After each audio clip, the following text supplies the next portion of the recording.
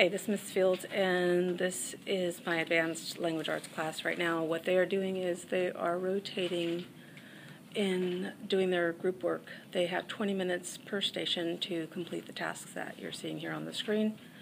And in approximately five to six minutes, they will rotate uh, the group one and group three will rotate uh, so that they can switch um, the projects, and the podcasting group is still working on their thing because that has to get published today. So they're the only group that's not rotating, and uh, that's it. In a second, you'll see the actual transition. Hopefully, it will be awesome.